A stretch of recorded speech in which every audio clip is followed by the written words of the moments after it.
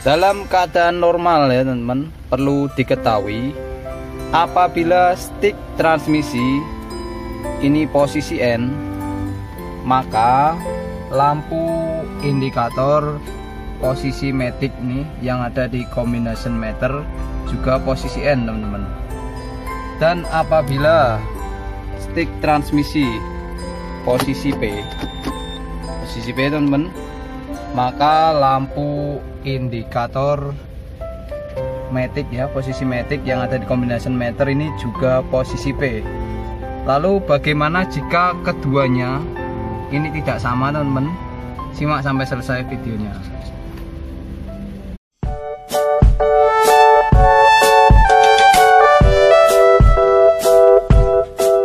Ya, lagi channel paling yahui channel Master Haryono.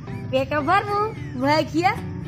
Oke, Mas. mantap. Dalam video kali ini kita membahas apa ini Mas? Oh, dalam video kali ini ya teman kita akan membahas tentang mobil matic teman jadi jika kita menggunakan mobil dengan transmisi matic ini lebih nyaman jika dibandingkan dengan mobil yang menggunakan transmisi manual dan apalagi di jalanan yang macet ya teman tentunya lebih nyaman juga teman dan juga lebih santai ya teman. Dan ada kalanya mobil dengan transmisi matic ini mengalami permasalahan teman. Permasalahan itu ada banyak ya teman.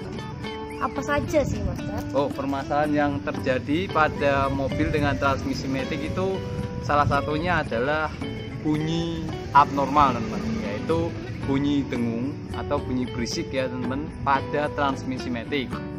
Matic nyentak matic slip ya teman. Jadi mobil tidak mau maju ataupun mundur. Dan juga dalam video berikut ini kita akan membahas tentang suatu permasalahan yang terjadi pada mobil matic seperti apa sih? Penasaran? Pengen pinter? simak terus video ini sampai selesai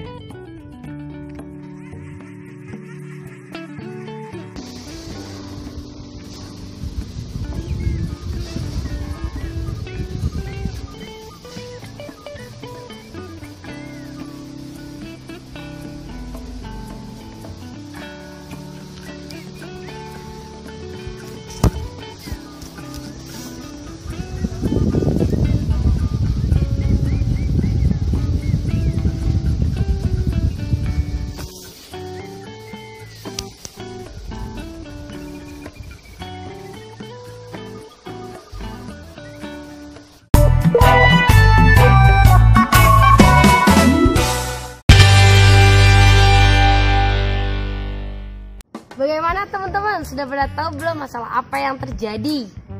Nah, jadi teman masalah yang terjadi pada mobil di video tadi ya teman itu ada dua Masalah yang pertama apa sih Master? Nah masalah yang pertama ya teman yaitu lampu check engine atau MIL malfunction indicator lamp ini menyala secara tidak normal.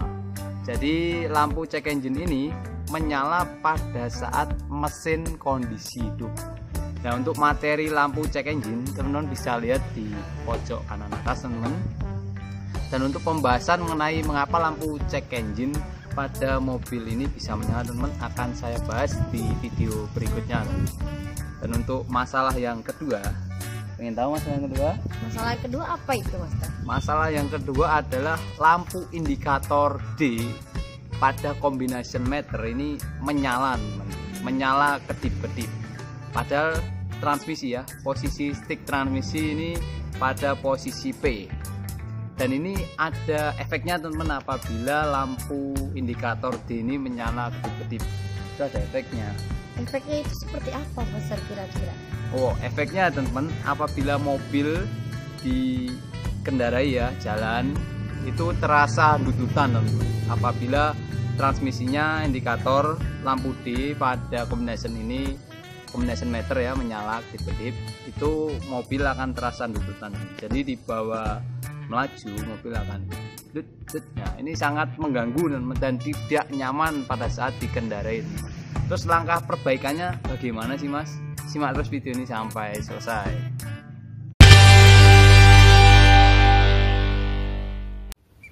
Perlu diketahui ya teman-teman masalah ini terjadi pada mobil ras dengan tipe transmisi matic ya teman-teman. Dan setelah dilakukan pemeriksaan ini itu dan lain sebagainya teman-teman berdasarkan buku pedoman reparasi ternyata didapati kerusakan. Ini terjadi pada komponen netral switch. Nah netral switchnya rusak sehingga akibatnya lampu indikator di nyala kedip-kedip yang ada di combination meter tadi teman dan efeknya tadi ya teman ketika di bawah jalan mobil terasa lututan teman seperti itu sendat-sendat ya. Nah dan setelah dilakukan penggantian terhadap netral switch hasilnya oke okay, mantap sekian dulu video kali ini teman jangan lupa di like dan di share video dari kami. Akhir kata saya ucapkan terima kasih.